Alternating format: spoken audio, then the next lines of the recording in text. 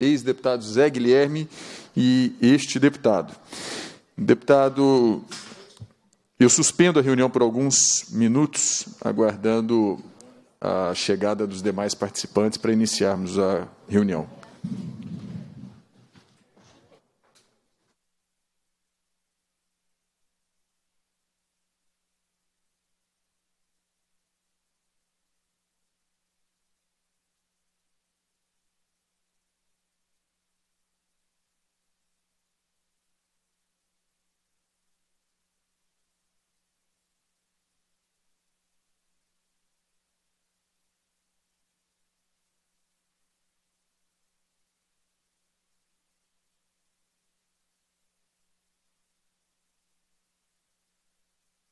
A presidência, nos termos do parágrafo 1 do artigo 132 do Regimento Interno, dispensa a leitura da ata da reunião anterior, considera aprovada, solicita sua subscrição e anexação das respectivas notas taquigráficas.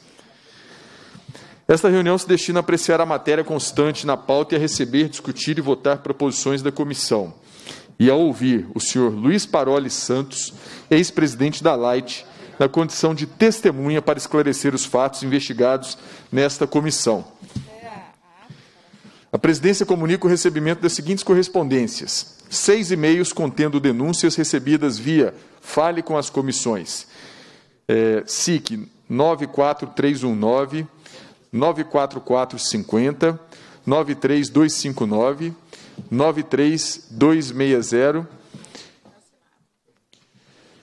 Ofício do doutor Ronaldo Vasques, juiz da primeira vara de tóxicos, em resposta ao requerimento número 10.544 de 2021. E ofício do doutor Tarso Duarte de Tassis, advogado da CEMIG, em resposta ao requerimento número 10.512 de 2021. Aproveito para agradecer e registrar a presença e participação do doutor Tarso, advogado da CEMIG, nesta reunião. Passa-se a primeira fase da terceira parte da reunião, que compreende audiência de convidados. Registro ainda a presença do deputado relator Sávio Souza Cruz. A presidência convida a tomar assento à mesa o senhor Luiz Paroli Santos, por gentileza, senhor Luiz.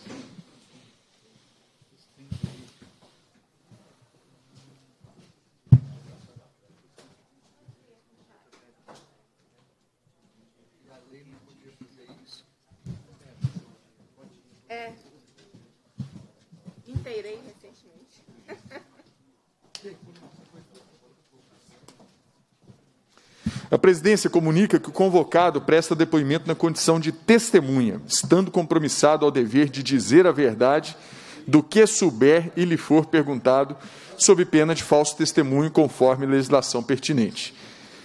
Informa aos parlamentares que o relator disporá de 30 minutos para inquirição da testemunha e os parlamentares que compõem o quórum da reunião disporão de até 10 minutos.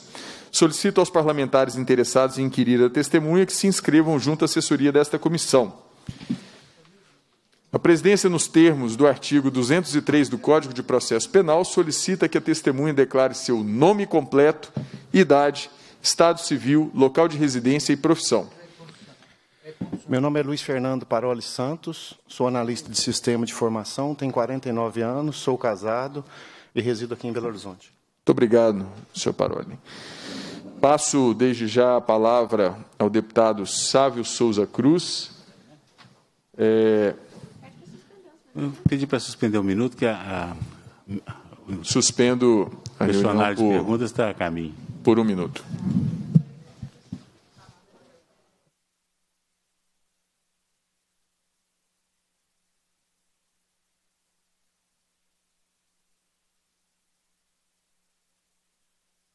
Cris Cerqueira, eh, Zé Guilherme, professor Cleito, demais pessoas presentes aqui no auditório.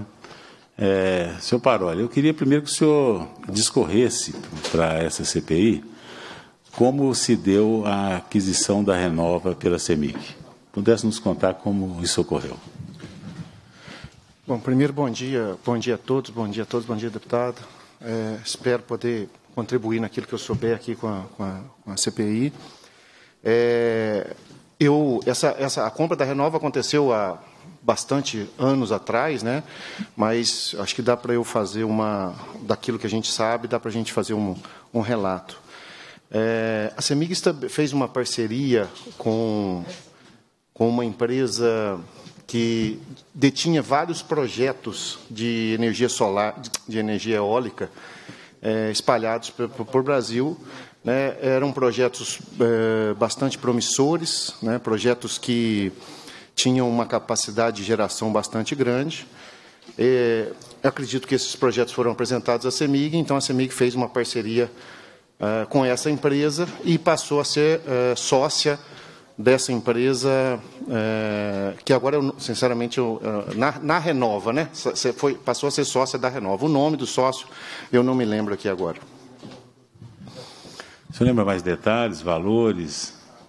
Não, valores, eu, como é muito antes da nossa época, eu não me lembro dos valores. Não, sinceramente, é, é eu não sei é, dos valores que foram colocados nessa parceria, mas sei que a Renova se transformou, a partir da entrada da CEMIG, numa empresa bastante robusta e bastante grande, com investimentos bastante vultuosos, é, mais de bilhões de reais. É, pela ordem, relator.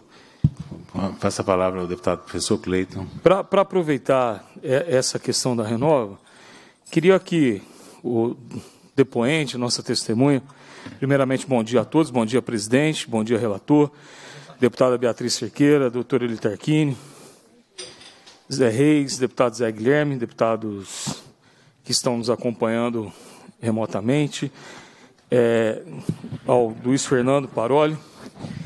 É, poderia explicar, nessa relação, o que, que é era chamado de RR na Renova, que era a questão dos acionistas? para que a gente possa entender essas relações do mercado. Então, RR era, eram sócios, né? Renato e Ricardo, que eram, se não me engano, os nomes são esses, é, que eram os sócios detentores desses projetos Obrigado. que foram apresentados na criação da Renova. É, e eles já tinham algumas usinas também eólicas de portes menores, mas com projetos que tinham uma capacidade de instalação muito grande, portanto, precisavam é, se associar a empresas de grande porte uh, para poder ter condições de financiamento e de aportes para a construção desses, desses projetos. Então eles eram sócios da, são sócios da Renova.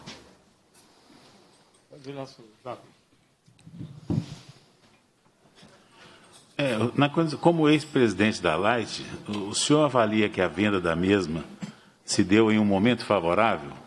A gente tem informações que as ações subiram consideravelmente durante a sua gestão. É, obrigado, quero sim.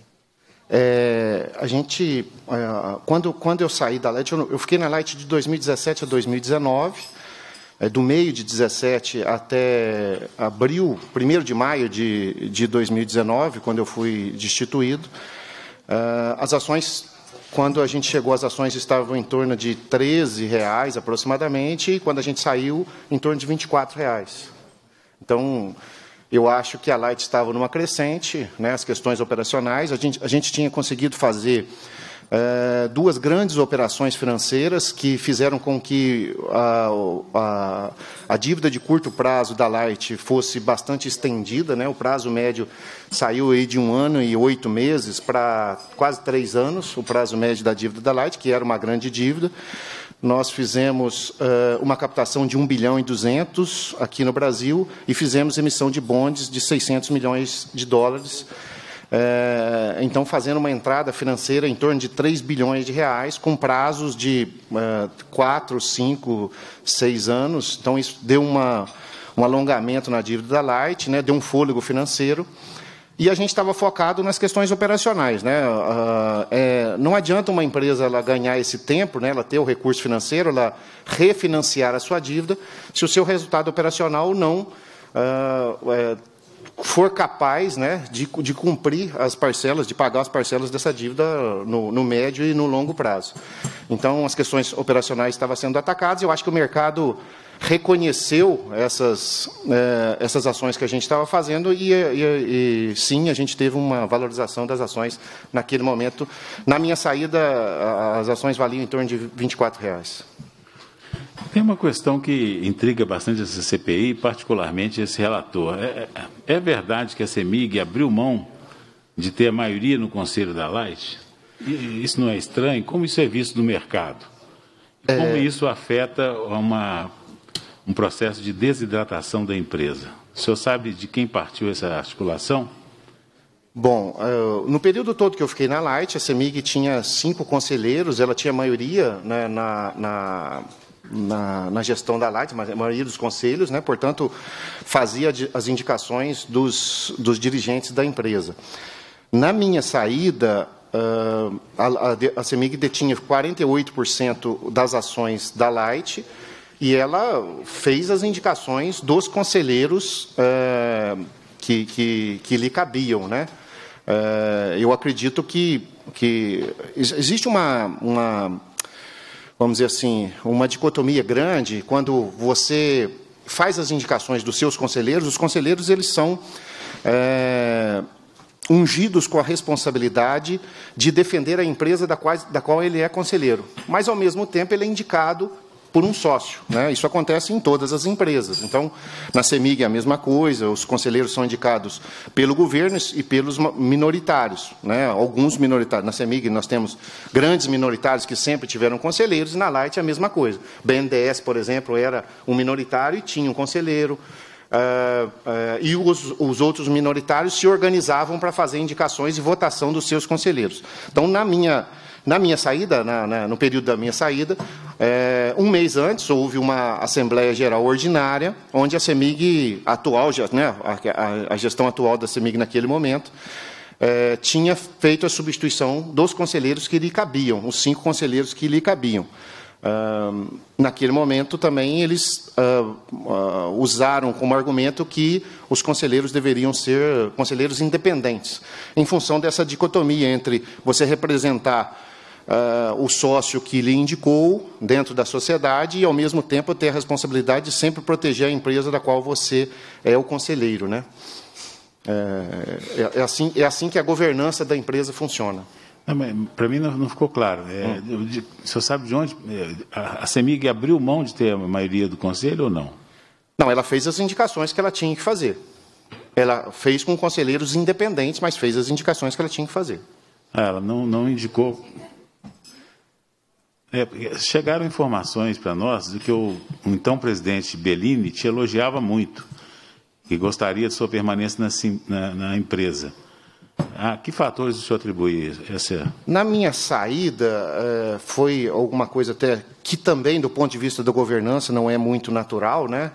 É, eu fui avisado, porque normalmente a gente, é, quando uma empresa está aplicando os melhores modelos de governança, é feita uma transição entre a diretoria atual e a diretoria futura, com passagem das informações, com tempo é, para que a gente possa fazer toda essa, é, essa passagem dos pontos mais críticos e tudo mais.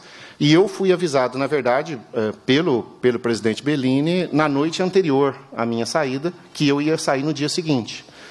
É, ele me elogiou bastante nesse dia, disse que, é, que não era uma questão técnica, que era uma questão é, política, que ele tinha uma necessidade de fazer essa, essa alteração, né, porque tinha um governo novo e tudo mais, que ele tinha necessidade de fazer essa alteração, e que a, a presidente Ana Marta iria assumir no dia seguinte.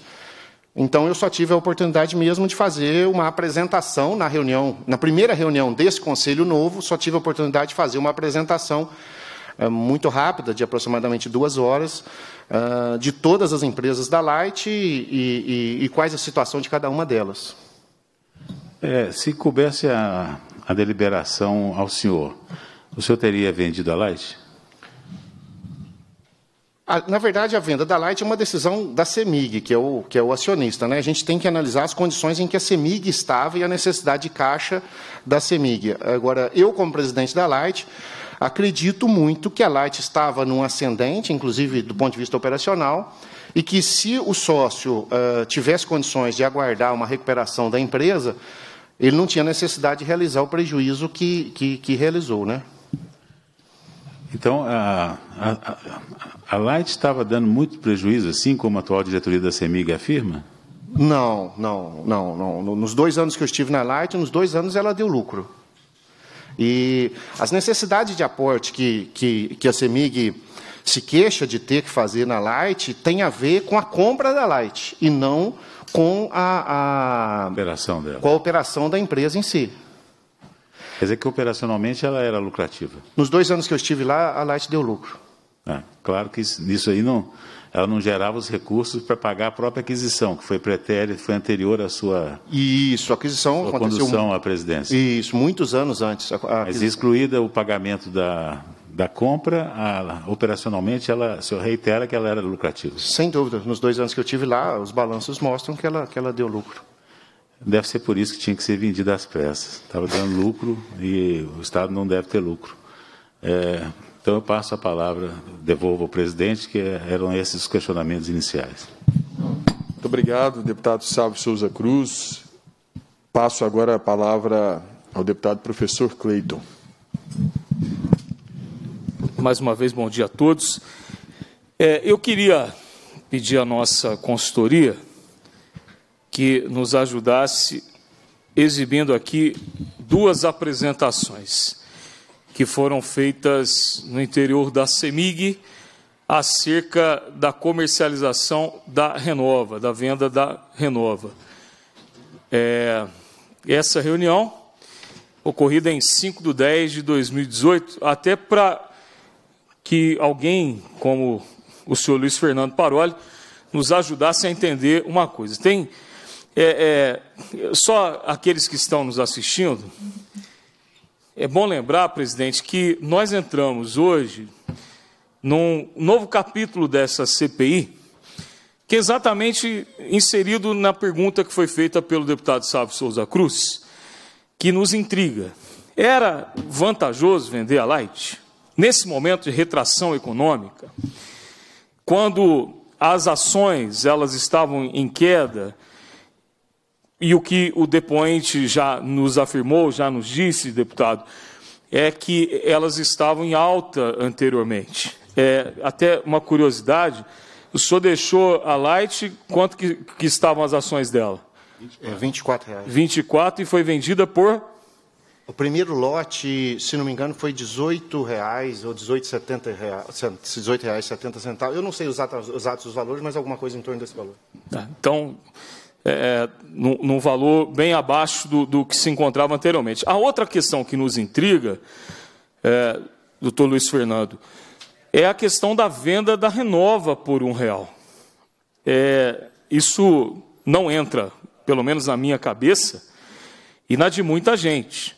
Como não entra na nossa cabeça é, um processo tão complicado como esse processo de recuperação judicial, inclusive antes é, de iniciarmos essa oitiva, nós conversávamos aqui entre nós, o doutor Tarso, que está aqui, é, também doutor Riane e os deputados, comentávamos aqui, nossa consultoria, que nós ficamos assustados com o processo que corre na justiça em relação à renova. Que é algo que ninguém quer, deputada Beatriz Cerqueira. Um juiz fica empurrando para o outro. É, agora, a renova, a pergunta que, é, que nós vamos fazer aqui, mas nós precisamos entender isso aqui, ela tinha salvação? Por que, que ela é vendida por um real? E aí eu afirmo, repito, nós temos aqui e vamos chamar a pessoa que fez a proposta de compra da participação da Light na Renova é, por 480 milhões, isso alguns meses antes dela ser comercializada por um real. Então isso é intrigante. Pode passar, por favor. É, isso aqui que era a matéria deliberativa da reunião. Por favor, pode passar. É, o tema da reunião foi esse aqui: ratificação da aprovação e celebração do termo de compromisso Brasil-PCH. Por favor.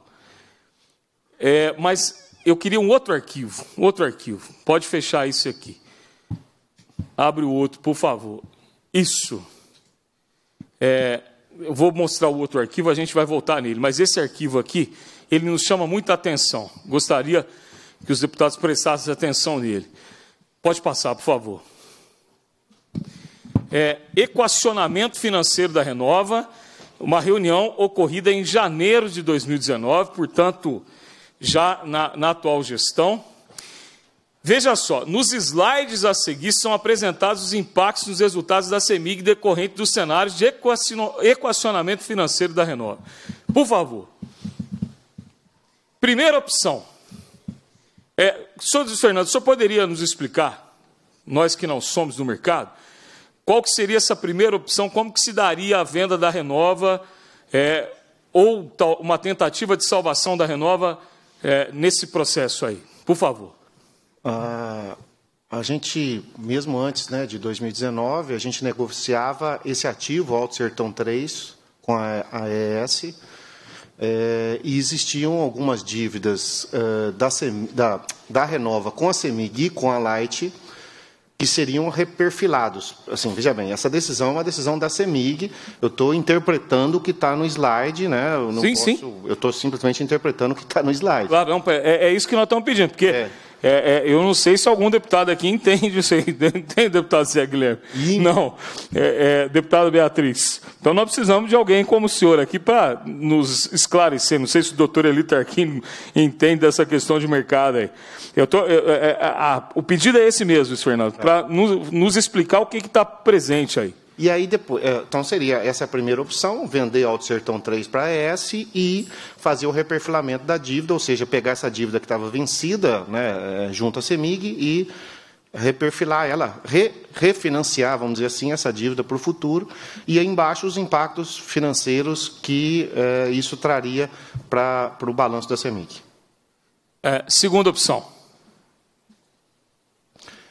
É a mesma coisa. Uh, uh, da primeira está acrescentada aí uma conversão de 25%. Acredito que essa conversão seja uh, parte daquela dívida que, ia ser reperfilada e ia se converter em ações da Renova, portanto a CEMIG passaria a ter um percentual mais, ma, maior da empresa. Terceira opção. Realavancagem seria a gente é, é, conseguir financiamentos externos né, de, de algumas de, de, de, alguns fundos ou, ah, ah, ou bancos, ou seja o que for, né, fazer uma realavancagem, ou seja, tomar um novo financiamento, fazer o reperfilamento que eu já expliquei e, ao mesmo tempo, também vender Alto Sertão 3 para essa. Quarta opção. É a mesma coisa, além disso, é, vender Alto Sertão 3, fazer uma oferta pública de ações e fazer uma conversão de 100%. Ou seja, a gente vai fazer uma oferta de ações para ver se o mercado compraria as ações da, da Renova e aquelas dívidas que a CEMIG tinha junto à Renova, ela converteria 100% dessa dívida para para equity é, dentro da Renova. Portanto, seria aí aumentaria mais ainda a sua participação. Quinta opção. É a mesma coisa, só eu já expliquei os dois, né? A venda de Alto Sertão 3 mais conversão de 100% aumentando a participação da CEMIG. Sexta opção. A recuperação judicial da empresa né, e os impactos que isso traria para a CEMIG. Né? Um pedido de recuperação judicial da Renova.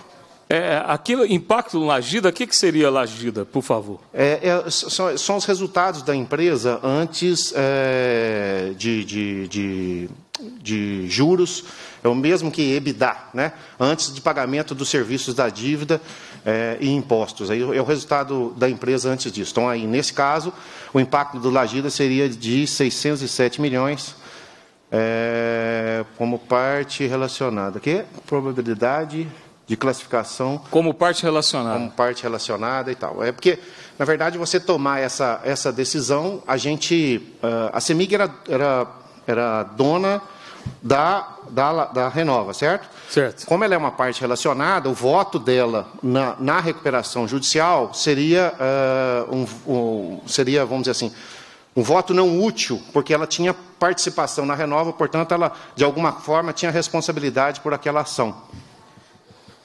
Sétima opção. Venda da AES, reperfilamento e conversão de 50%. Só diminuiu o percentual aí. É, oitava opção. Não tem. É, ou seja, são apresentadas sete opções. Isso numa reunião interna da CEMIG. É, a oitava opção, que seria a venda por um real, ela não aparece aqui. É, duas perguntas acerca dessa apresentação. A primeira delas, o senhor foi presidente da Light. É, a Light era a maior acionista da Renova, ela tinha o controle sobre a Renova. A Renova tinha solução? Ah, só fazendo duas, duas ponderações. Na verdade, essa decisão é, são as opções que a CEMIG se colocou. Tá? Eu posso dizer que são uh, soluções que, obviamente, foram conversadas com a Light também, né? e para a Light poder definir qual que seriam as opções dela também. Né? Então, é, essas são as, opções colocadas. E a Light não era o acionista majoritário, ela fazia parte do bloco de controle junto com a CEMIG e com os RRs que o senhor mencionou aí é, como sócios da, da Renova. Então, ela fazia parte do bloco de controle. Então, só fazendo essas correções, eu me esqueci da pergunta, porque eu fui preocupado em. É, se, a, se a Renova tinha salvação. Então, acho que as próprias opções mostram que sim, que a Renova tinha várias opções para serem solucionadas. Obviamente que todas as opções tinham prós e contras, né? todas as opções tinham vantagens e desvantagens, é, mas sim, a Renova tinha, tinha opções, tanto que a Renova existe até hoje, as ações estão na Bolsa, portanto, é, uma solução foi colocada. Né? É, a venda por um real era o melhor desses caminhos? A CEMIG não poderia ter exercido o direito de compra por um real de, da Renova? Muito bem. Bom, a, a, a venda por um real, é, eu, eu, não consigo olhar o que estava acontecendo no futuro da Light, porque eu já tinha saído, né? Então, não, não consigo olhar os dados atualizados, vamos pensar assim, né? É, no momento que, que, que, eu dirigia a Light, é, eu não entendia essa solução como uma solução vamos dizer assim, a melhor solução para a empresa. Né? Tanto que não a, não a exerci, não, não tentei vender por um real nem nada. E sim, a CEMIG eh, poderia ter comprado por um real. Presidente, senhor. É, é, é, deputado Sávio Souza Cruz, nobre relator, demais deputados, deputada, é, nós temos que chegar aqui é, é, à conclusão de quem fez essa opção. Deputado Zé Reis, o presidente Bellini, ele disse aqui, é, nessa CPI, que ele não concordou com isso. Está aí nos anais dessa CPI que ele votou contrariamente a isso. Mas sabe por que, que ele foi voto contra? Porque aquilo que o deputado Sábio Souza Cruz disse, nós precisamos retomar aqui, senhor Luiz Fernando. A questão de que a CEMIG deixa de ter a maioria no conselho da Light. Inclusive, eu tenho uma pergunta aqui. É, olha o que, que chega aqui, deputado Sábio Souza Cruz. É interessante isso aqui. Que aí apenas confirma tudo aquilo que nós já temos apurado aqui. É, o senhor conhece um conselheiro da Light que é pai de um deputado federal do Partido Novo em São Paulo, o deputado federal Vinícius Poit. Senhor teve contato com ele? É, é para é, é mim a pergunta? É? Sim, sim. Não, não, nunca tive contato, não conheço, não sei. É, quero chamar a atenção para isso. O pai de um deputado federal do Partido Novo de São Paulo se torna conselheiro da Light. Queria, deputado Beatriz Cerqueira, se fosse o PT, pai de um deputado federal do PT, Miriam Leitão, Serdenberg, estavam fazendo um barulho numa hora dessas, mas o Partido Novo pode. Deputado Sávio Souza Cruz, pai de um deputado federal do Partido Novo de São Paulo, uh, está como conselheiro da Light. É, portanto, as coisas que têm acontecido é, junto às chamadas subsidiárias, que são ativos importantes da CEMIG, tem uma explicação simples. A CEMIG abre mão de ter a maioria nesses conselhos.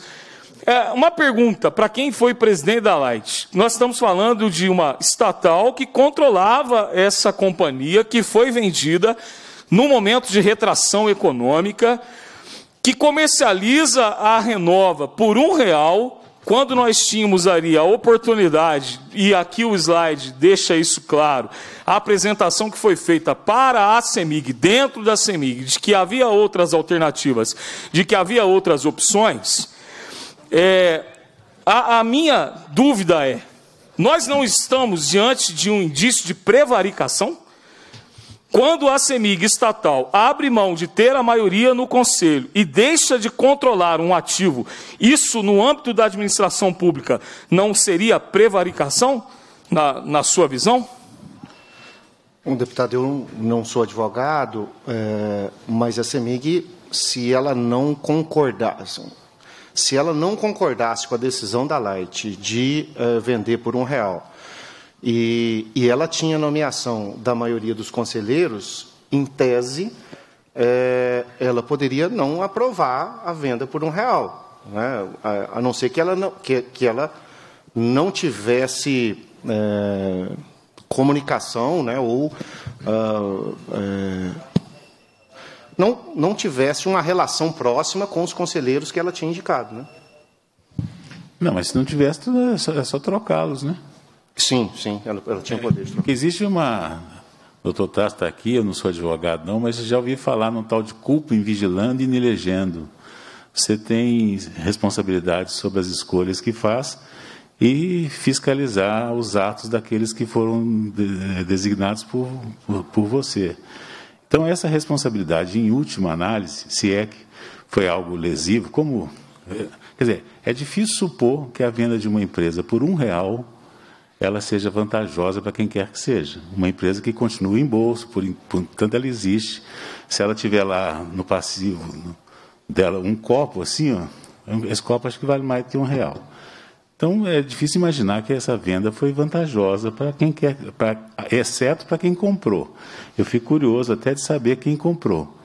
É, mas essa responsabilidade, em última instância, é, é, sim, dos conselheiros que fizeram um ato que se comprovado que são lesivos ao, ao interesse da, da empresa, mas é, sobretudo, é, tem que ser imputado a quem tinha a competência de indicar conselheiros comprometidos com o interesse da empresa e preferiu indicar pessoas, entre aspas, do mercado, o pai de um deputado do Novo, esse tipo de coisa que está muito na moda, né? Então, parece que foi de fato um grande negócio. Pena que não foi um grande negócio para a CEMIG, para uma empresa estatal. Mas provavelmente as, as pessoas aqui em Ori, assim, eu, eu, lamento ter ficado sozinho, não, mas inclusive quero falar com os compradores. Eu pago 100% de lucro. Eu pago dois reais à vista. Pode me procurar, eu estou disponível aqui na Assembleia. Um grande negócio, eu estou publicamente propondo aos compradores da, da Renova.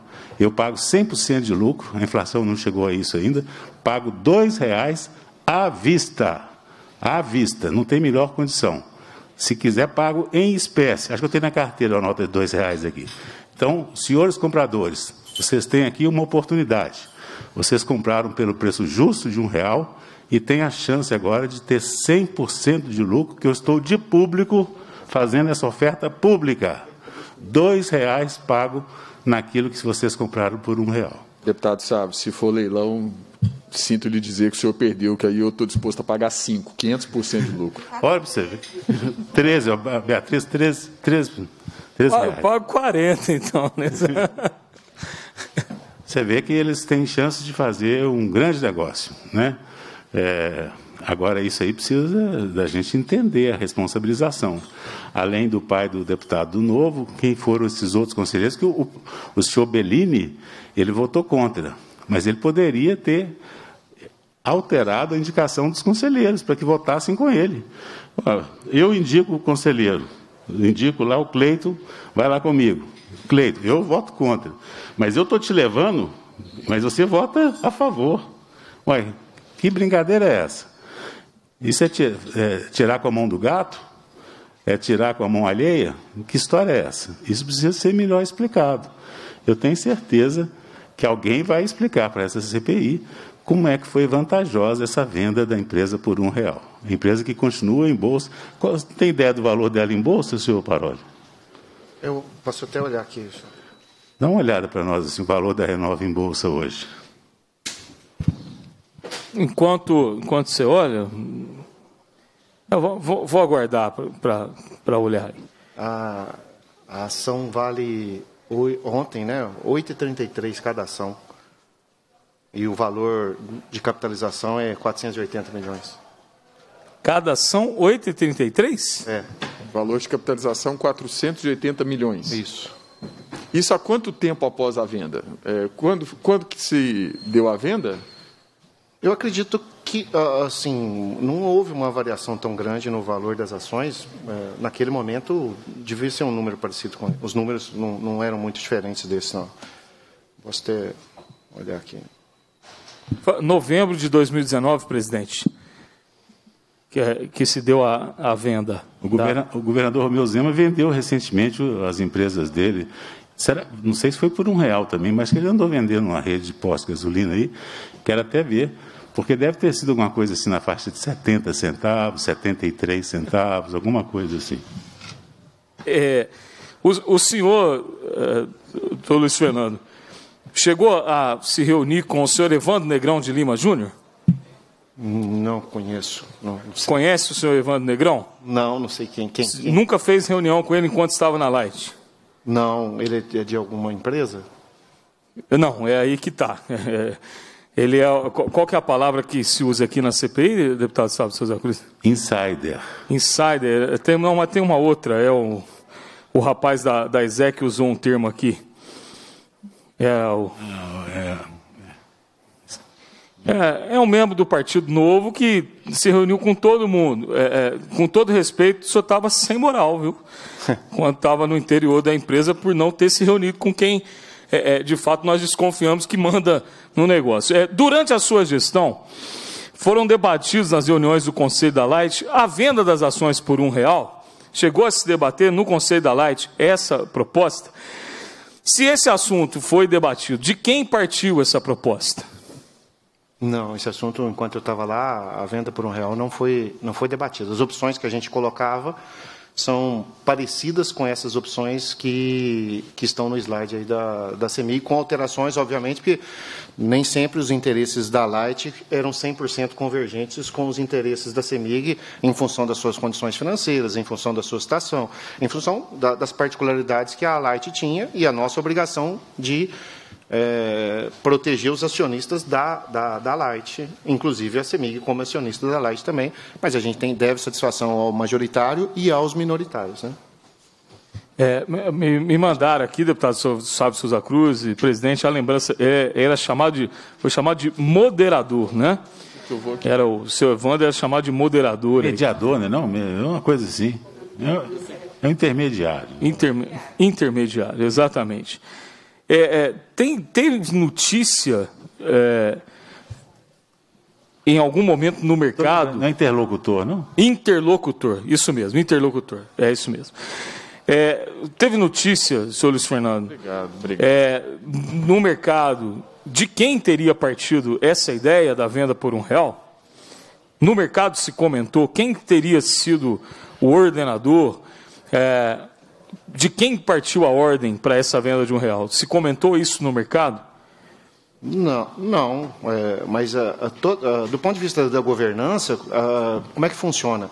A diretoria executiva apresenta ao conselho de administração as decisões que a diretoria executiva entende como sendo as decisões mais adequadas e o conselho aprova ou não aprova essa decisão é, de acordo com seus votos lá no conselho. Então, é então imagino que a decisão tenha partido da diretoria da Light para o conselho da Light.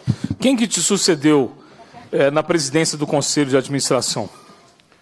Não, eu não presidi o conselho de administração, eu presidia a Light. Quem me sucedeu na presidência da Light foi uh, Ana Marta eu, é, Veloso, se não me engano. Ana, Ana Marta Veloso. É, de, de onde é Ana Marta Peloso? Se ela tem alguma relação política? Se ela é do mercado? É, é, ela é considerada uma pessoa do mercado financeiro, né? ela teve participações pelo BNDES e outros bancos, uhum. é, então considerada uma pessoa do mercado financeiro. É, o senhor pode nos explicar se, dentro da sua substituição, houve concordância de todos os, os conselheiros? Não, não, não. Houve uma votação, né? E alguns conselheiros, os conselheiros minoritários, votaram contra a minha saída. Conselheiros minoritários? Os minoritários. São, aí... são quantos conselheiros para a gente entender? É, naquele momento, a CEMIG tinha cinco conselheiros, o BNDES tinha um conselheiro, os empregados tinham um conselheiro e os minoritários eram dois. A Andrade Gutierrez não, não tem. Não, não, não. No conselho? Não. No conselho da CEMIG, sim. Eu não sei hoje em dia se tem. Né? No passado havia, né? Em, em relação ainda é, a essa venda da Light, que ela no, também nos intriga, é, deputado Sávio Souza Cruz, eu e o deputado João Vitor Xavier, não sei se chegou, deputado Sávio Souza Cruz, a resposta daquele é, daquele ofício, daquele requerimento que nós enviamos para a CEMIG para tentar entender quais seriam os prejuízos para a companhia. Mas a nossa desconfiança é que a venda da Light, nesse contexto de retração econômica, de pandemia, é, levou a um dos maiores prejuízos corporativos recentes da, da nossa história, é, da história do Brasil, né, do mundo corporativo brasileiro. É, quando as ações elas estavam em alta na sua gestão, houve discussão na possibilidade de venda da participação da CEMIG na Light? Sim, houve. houve é, a, a CEMIG, em, em, em, função daquela necessidade que ela via, que ela tinha, né, que, é, de comprar as ações dos bancos que eram sócios da Light, faziam parte do, do, do bloco de controle da Light, é, e a CEMIG não queria despender, e não poderia, né, na opinião da, da, gestão naquele momento, não poderia despender é, desse recurso para aumentar a sua participação na Light, mas era uma obrigação contratual né, que, que isso acontecesse. É, a CEMIG pensou e fez algumas propostas, mas isso é, foi feito na CEMIG, obviamente, porque quem vende as ações da Light é a CEMIG, né? A, a Light não tem uma participação direta, ela é passiva nessa questão, os sócios podem fazer, uh, vender as suas ações quando acharem que é mais adequado, né? Mas, mas houve sim essa discussão várias vezes. É porque antes de ser presidente da Light, eu era diretor da CEMIG. Então, esse assunto também uh, não era diretor das áreas respectivas, então meu conhecimento não é uh, completo, né? mas, uh, como membro da diretoria executiva da CEMIG, esse assunto foi discutido, sim. Tem uma coisa que me chamou a atenção. É, por que, que o BNDES tem um conselheiro na LED? Ele, ele, Para que a gente entenda aqui. Ele detinha uma participação significativa é, nas ações da Light. Eu, eu não me lembro o número exato, mas alguma coisa em torno de 8 ou 9%. Então, a sua visão, o BNDES também teve prejuízo aí. Eu acredito que na primeira, eu não tenho os dados, eu não acompanhei muito de perto né, a, a, o desenrolar depois, mas uh, me lembro de ler coisas como o BNDES ter vendido as ações dele quando uh, foi feita a, a, a venda da primária e secundária que aconteceram na Light, né, a primária para a entrada de recursos na empresa e a secundária onde a CEMIG vendeu uma boa parte da sua participação por esses 18 reais que a gente comentou. Ô, presidente, eu, eu, queria chamar a atenção, eh, nobre relator também, é, essa resposta do, do senhor Luiz Fernando, ela nos remete a uma preocupação. É, essa CPI, ela já extrapolou a questão é, de Minas. É, portanto, já, já não, não temos mais o foro do Ministério Público Estadual aqui, deputado Sábio Souza Cruz. O que nós estamos discutindo aqui já é caso para Ministério Público Federal. É, portanto, eu já quero aqui fazer essa solicitação que essa, é, essa relatoria, esse relatório que aqui, daqui sairá, ele deve ser encaminhado não mais ao Ministério Público Estadual, mas ao Ministério Público Federal. É, até por conta do envolvimento é, da Light, da Renova, que são empresas que estão em outros estados. E do BNDES. Do, do BNDES, que é acionista. Exatamente, do BNDES, que vai chegar no BNDES. É, a CEMIG aportou recursos na Light na casa dos 840 milhões de reais, dos quais, segundo denunciados pelos conselheiros minoritários, é, 115 milhões foram desviados. É, esses recursos na Light que foram destinados para a Renova. Vou repetir aqui. A CEMIG aportou recursos na Light destinados depois à Renova na casa dos 840 milhões de reais, dos quais, segundo denunciado pelos conselheiros minoritários, 115 milhões foram desviados. Com a venda das ações da Renova por um real, estando a empresa em recuperação judicial, a CEMIG teve prejuízos? É, deputado, é, eu acho que é, o senhor colocou as ações em tempos diferentes, né? Na verdade, quando a, a, a, Light entrou na Renova, né, ela fez um, né, uma compra de ações, uma, um aporte na Renova, isso aconteceu há bastante tempo atrás. É, e a ideia, e, foi assim que ela entrou com 17% do, do, do valor da Renova. Então, a não ser que o senhor esteja falando de outros recursos que eu não sei, não, não é do meu período nem nada. Então, mas o que eu sei foi que, quando da entrada da Light na Renova, a Light fez um aporte, lógico, comprou ações, fez um aporte na Renova para poder uh, ela virar sócia e construir os parques que eram necessários. Essa compra foi feita depois da participação da CEMIG. A CEMIG entrou primeiro na Renova, depois a Light foi chamada também a, a, a, participar da Renova. Então, esses aportes foram, foram feitos muito tempo antes da, da venda e da recuperação judicial. Então, acho que. Me permite, deputado? Claro. Só, é, só para. É, senhor Parol, o senhor é filiado a algum partido?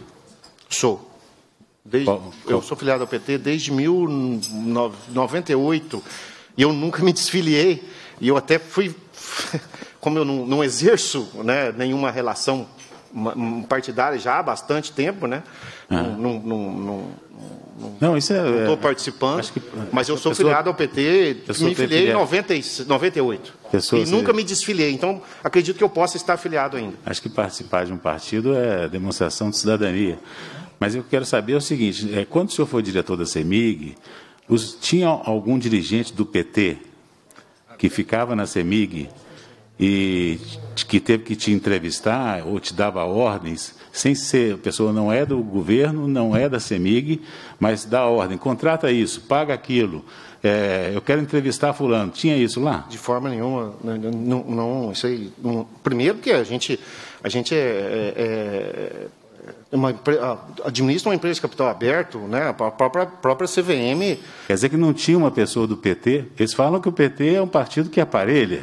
Mas parece que ó, o novo aprofundou muito essa história de aparelhamento. Hum, Agora, dessa CPI está demonstrando, talvez o senhor não esteja acompanhando, que um dirigente da, do Partido Novo ficava internamente no partido, lá na, na CEMIG, ele dava ordem para contratar ele tinha que definir quem é que podia ser contratado ou não, quem podia exercer algum cargo na empresa, isso sem ser, sem ter nenhum cargo na CEMIG e sem ter nenhum cargo no governo, só por delegação partidária. Essa pessoa ficava lá com essa, quer dizer que no tempo do PT não tinha isso. Nunca, não, não eu, eu eu fui diretor de Furnas, né? fui diretor da CEMIG, fui diretor da Light, e nunca. A, a, governança não é assim que funciona, né? O sócio majoritário, mesmo que ele seja o governo federal ou o governo estadual, ele é, coloca as suas ações através dos conselheiros. Né? São os conselheiros que o representam. Voltando àquele assunto lá da representatividade do conselheiro. É o conselheiro que, que, que que representa o sócio dentro do conselho e assim a gente recebe as orientações do conselho em relação às nossas ações. Agora, mesmo assim, o conselho é, não, ele não indica contratações, né? ao contrário, né? é a diretoria que estuda a empresa, vê as necessidades da empresa e apresenta ao conselho as necessidades da empresa, as contratações, e elas são aprovadas ou não de acordo com a consciência e com a, o interesse é, de cada um dos conselheiros. Eles votam lá e decidem. Na sua, na sua, no seu período na Light, na CEMIG e até em Furnas, alguma vez é, o presidente da, dessas empresas falou com o senhor que alguém que tinha ganho uma licitação não podia assumir o serviço, porque quem perdeu era é, secretário de Estado e era também filiado ao Partido Novo e tinha que, tinha que ser dado um jeito de quem perdeu ganhar? Isso aconteceu alguma vez com o senhor? Não, não. Em Furnas eu era diretor responsável pela área de suprimentos e isso nunca aconteceu. E se acontecesse, obviamente eu não, eu não é, aceitaria. Não, não, não, e aí nem se fosse o conselho, né? Aí não importa quem estaria falando. Eu fiz um processo, o vencedor é, é as empresas públicas e privadas são muito diferentes. As empresas públicas, eu fui dirigente de empresa pública e fui dirigente de empresa privada. Né? Nas empresas públicas, legislação específica, é, 8666, a gente tem que obedecer aquilo que, foi, que aconteceu na concorrência. Numa empresa privada, talvez você possa é, ter mais confiança em determinado fornecedor ou não, mas mesmo assim, a gente faz um processo de concorrência e tudo mais, é, e tenta é, contratar sempre pela, pelas melhores condições. A, a deputada Beatriz não está aqui, então, se o senhor puder levar o PT, se, se o, a questão é aparelhar, para ele fazer um curso com o novo. Porque o novo, de fato, é, em aparelhamento é diferente e é eficiente. Pode continuar, deputado professor Cleiton. Está é, tá afiliado ao PT, mas está tá pagando a mensalidade? Não, não. É porque o, o, o presidente Bellini deixou de pagar a mensalidade e achou que estava desfiliado, né, deputado Sábio da Cruz? É, quais que eram os principais acionistas da Light no período em que esteve como presidente? É, CEMIG, o principal acionista, é, depois o BNDES e depois o que a gente chama de free float, né, capital que fica em bolsa para ser negociado. É, mas haviam é, alguns, algumas, algumas empresas que detinham uma participação um pouco maior, então conseguiam indicar conselheiros. Uhum. É, é, só uma, uma lembrança, você falou da Lei 8666, é, na, na sua época era a Lei 8666, né? depois é, que veio a 13303, só para a gente entender. É, é, isso, né? Isso, era 8666, na verdade existe um regimento novo, eu não me lembro o valor. A 13303, na verdade, regula as nomeações, né? E, e, e, e o aspecto das nomeações. É, Quais são os principais lucros dos compradores das ações da Renova? No caso, elas entram na fila de credores da Renova na recuperação judicial? É, os sócios, quando, quando uma empresa entra em recuperação judicial, ela é, é constituída, então, uma, uma assembleia de credores, né, uma, uma, uma lista de credores, essa, essa lista é formada com todos os credores, e a, a, a empresa faz proposta para essa, essa Assembleia de Credores, uh, no sentido de uh, ter parcelamentos, de ter uh, cortes nessa dívida, ou seja, diminuição do valor da dívida e tudo mais. E existe um, um, um ranqueamento de preferências de pagamento. Então, no número um, nessa, nessa, nesse ranqueamento são os empregados. Então, se a, se a empresa tem dívidas trabalhistas, eles são os primeiros a, a receber. E como uh, os sócios são partes relacionadas, conforme estava uh, aí no slide da, da CEMIG, os sócios são os últimos na lista de credores. Portanto, eles são, às vezes, têm dificuldade até em votar, porque eles são partes relacionadas, eles têm dificuldade de votar. É, e, normalmente, é, como você é o último a receber, você acaba tendo que dar descontos maiores e condições de pagamento piores em relação a, a, aos outros credores da empresa, bancos e, e, e aí tem o ranqueamento que eu não sei de cor tudo, mas o primeiro eu sei que é o trabalhista e o último são os sócios. É, presidente, o doutor Eli Tarquim, que deve presidir nesse momento, eram essas perguntas, depois eu, eu retomo. Presidente, só enquanto antes de assumir, eu acho que a gente podia preparar uma série de requerimentos indagando exatamente quem são os conselheiros que aprovaram essa venda, é, repassando essa informação dessa, é, digamos assim, operação sui generis à CVM, ao Ministério Público Federal, para que a gente é, dê consequência a essa, a essa análise que precisa ser muito aprofundada, porque vender uma empresa de valor de bolsa de quase meio bilhão de reais, quase metade do contrato com a, da CEMI com a IBM, né, e vender por um real é uma coisa que precisa ser melhor esclarecida, salvo melhor juízo. Sugiro também, eh, nobre relator, eh, chamamos aqui a atual presidente da Light, a, a Ana Marta, né, que é quem está, esteve lá quando isso aconteceu. É, ela, não, ela, ela já não está mais como, como presidente da Light. Ela já, já, já foi substituída. Mas era presidente na época, né? Na época, sim. É, acho que a gente precisa saber primeiro quem, e, e outra, outra requerimento para a gente saber quem são as pessoas físicas que hoje são controladoras da empresa. Né? Se for a empresa X, quem é o dono da empresa X? Eu quero saber o CPF dos proprietários né, que fizeram essa, é, digamos assim, esse importante negócio para o mercado de, de aquisição de uma empresa por um real. Com a palavra o deputado Zé Reis. Ah, primeiramente, quem está lá inscrito é o deputado Zé Guilherme, com a palavra. Desculpa. Obrigado, senhor presidente, deputado Elitarquino, nosso relator, deputado Sávio, professor Cleiton, deputado Zé Reis, senhor Paroli. É, senhor Paroli, o senhor, quando foi diretor da CEMIG, o senhor era funcionário de carreira? Não. O senhor foi indicado por quem? Pelo Conselho de Administração da CEMIG.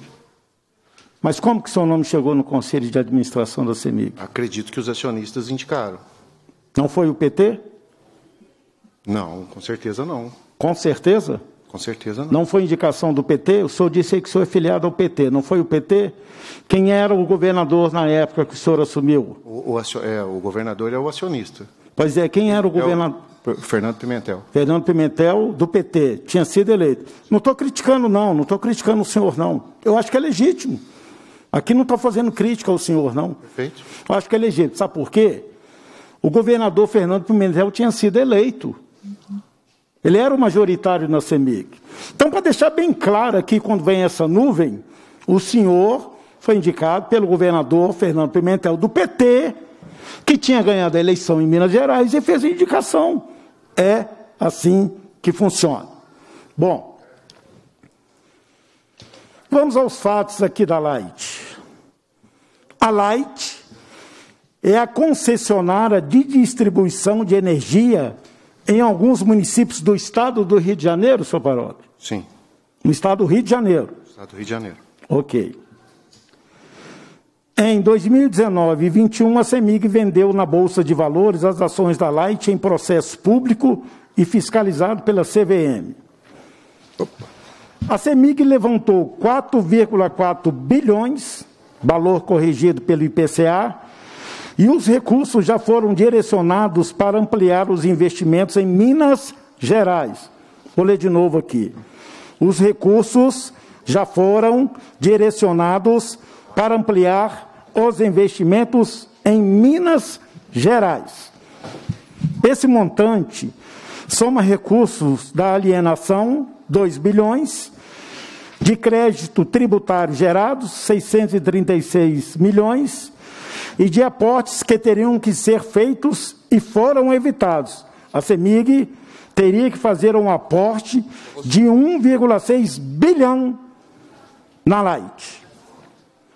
Para se ter a ideia da importância desses recursos para o caixa da CEMIG, o valor equivalente a 60% do plano de investimentos da CEMIG em distribuição em Minas Gerais no período 17 a 22. As ações foram vendidas aos preços de 18,75 e 20 reais, que são superiores ao preço atual, que Soparoli diz que é 8,75 hoje. Olha a diferença. O resultado econômico ao final desse processo, considerando o arrecadado e o que foi investido ao longo dos anos, com correção por IPCA mais 6% ao ano, seria um prejuízo de 2,2 bilhões. O desinvestimento foi importante para evitar que o prejuízo da CEMIG fosse mais elevado.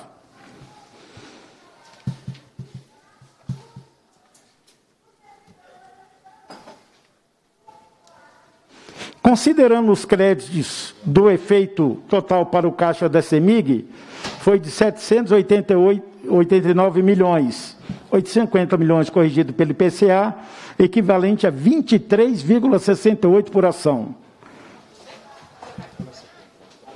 Essa venda representa o espírito atual da CEMIG.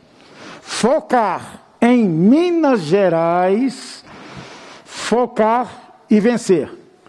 A CEMIG não deve e não pode concentrar a gastar seu tempo com o Rio de Janeiro, onde ou onde quer que seja. A CEMIG tem que estar 100% focada em melhor atender aos clientes mineiros. As ações, como já dissemos, foram vendidas a 18,75 e 20 e hoje elas estão a 8,75. A CEMIG parou de queimar no Rio de Janeiro para voltar em Minas Gerais. É sempre difícil reconhecer que foi feito um mau negócio. É exatamente isso que é a Light. Um péssimo negócio feito pela CEMIG. O tempo evidenciou isso. Sabe o que deve ser feito nessas situações? Se livrar de um mau negócio. Infelizmente, a gestão anterior da CEMIG decidiu comprar ações da Light a 99. Reais. Vou repetir. A Light foi comprada a 99 reais. Infelizmente, a CEMIG teve que assumir esse abacaxi. A atual diretoria teve a coragem de se livrar dele. Leilão público, realizado na Bolsa, sob fiscalização da CVM. Era só esses pontos que eu gostaria de deixar no momento, senhor presidente. Muito obrigado. Obrigado, deputado Zé Guilherme. Eu peço a compreensão do senhor Paroli. Eu vou suspender a reunião por alguns minutos, considerando que no plenário será apreciada uma PEC que exige quórum qualificado. Então, a presença dos deputados membros dessa CPI é fundamental para que a gente consiga avançar nessa votação. Então, dentro de alguns minutos, nós retomamos, senhor Paroli. Só um minuto. Estão suspensos os trabalhos. E aqui, no mundo político, ainda mais, né? Porque assim. A... Ellen, o Zé Risco está inscrito? sou analista de sistemas. Ô Zé, você vai falar? Light, é isso Achei que o suplente ia puxar os coringas. Não, mas, mas tá doido, é mais do que isso.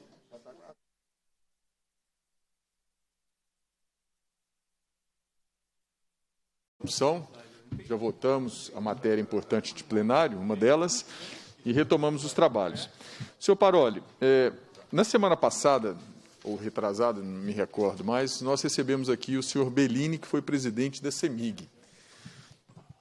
Ele disse que era membro do Conselho de Administração da Light e que, quando aconteceu a decisão de venda das ações da Renova pela Light, ele não concordou e veio a renunciar à sua participação, à sua cadeira no conselho da Light. O senhor tomou conhecimento desse fato? É, eu, eu, ouvi parte da, da oitiva dele aqui, né? Eu, eu, vi parte da oitiva dele aqui e eu vi que ele, ele se manifestou dessa maneira. Tá. Os membros do conselho de administração da empresa, eles podem ser responsabilizados por eventuais decisões erradas, não é isso? Sem dúvida.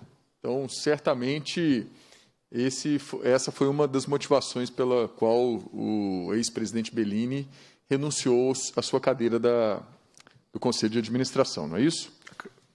Até supomos palavra, que até sim, né? palavras dele. Na, na, verdade, supomos que sim, é. né? Então, eu acho que, que temos muito ainda que averiguar quanto a essa venda, quanto a essa situação, essa posição de um executivo do mercado renomado como é o, Bellini, é, de não concordar e se retirar de forma é, talvez inesperada também do Conselho de Administração. Senhor Paroli, eu quero agradecê-lo e, e indagá-lo. Há mais alguma contribuição que o senhor tenha a trazer à nossa CPI? Não, acho que, da medida do meu conhecimento, é, tentei responder todas as perguntas. É, obviamente, não tem todas as respostas, né? não, não, claro. não tem todo o conhecimento. É, algumas coisas, na verdade, o foco da CPI, é, que, segundo eu li, são 19 e 20, eu participei apenas quatro meses dessa, desse período, né, como presidente da Light, mas estou à disposição, se vocês, se vocês, precisarem de mais alguma informação, se vocês tiverem mais algum questionamento, eu estou à disposição dentro do meu conhecimento para poder contribuir. Presidente, só uma... Pois não. Rapidamente. É, como presidente da Light, o senhor autorizaria a contratação de serviços de forma verbal para posterior convalidação? É uma prática comum em empresas públicas?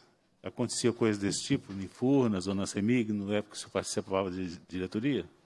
Não, inclusive isso é, é, é do ponto de vista legal, não é permitido. Né? Para, para as empresas privadas, existe uma flexibilidade um pouco maior, mas nas empresas públicas é, esse tipo de contratação um, tem um rito especial para quando existe uma emergência, né, que é previsto dentro da legislação, é, mas é, a legislação exige que as contratações sejam feitas primeiro para depois da execução do trabalho.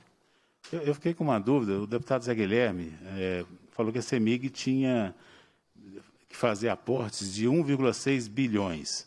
A minha dúvida, esses 1,6 bilhões é, em aportes ou, ou são pagamentos que a CEMIG deveria fazer para liquidar a compra da, da, participação que adquiriu na Light? Qual o valor da, do lucro da Light em 18 e 19? Eu não me lembro de cabeça os valores exatos, mas, uh, se não me engano, 200 e algo próximo de 200 milhões no primeiro ano. Eu não me lembro os valores exatos, deputado. Eu posso incorrer em erro aqui. Eu teria não, que. Na ordem de grandeza já. De 200, 200 milhões, milhões. E, e, e, eu acredito que em 19 um pouco mais. É, e faltou dizer se esses 1,6 bilhões eram é, aportes para não, a... déficits operacionais ou para o pagamento da é, compra o, das participações? O único recurso que a CEMIG teria que aportar na Light seriam os recursos da PUT para compra né, e o aumento da participação, mas isso aconteceu ainda é, no governo anterior. Né? É, eu acredito, aí, deputado, eu, eu não consigo né, é, de, definir esse número, mas eu acredito que uh, o deputado quis dizer que se a Light é, fazendo a sua primária para a CEMIG manter a, a, sua participação percentual na Light, a Light tinha mais ou menos, não sei se é isso, deputado, é, a Light tinha 200 milhões de ações no mercado. E ela, ela colocou mais 80 e poucos milhões de ações, 90 milhões de ações, é, para serem compradas. Então, para a CEMIG manter os 48% que ela tinha, ela teria que comprar uma quantidade dessas ações que o valor possivelmente seria parecido com esse. É, o, o, fato de focar em Minas Gerais é, são o fundamento da CEMIG amargar prejuízo na perda de participação na Light na Renova? Olha, essas participações, na verdade, elas eh, estavam dadas, né? Tanto a Light quanto a Renova já eram empresas compradas e suas condições colocadas. Então, quando, quando, elas foram compradas? Foi na sua gestão? Quando que elas foram? Não, to, to, todas, as, todas as compras foram realizadas uh, há muitos anos atrás. Eu acredito que nos governos uh, anteriores, uh, dos governadores anteriores. Não foi na, na, na, na, gestão que nós participamos. Você sabe quem era o governador na época dessas aquisições? Acredito que seja o governador uh, Aécio e o governador Anastasia.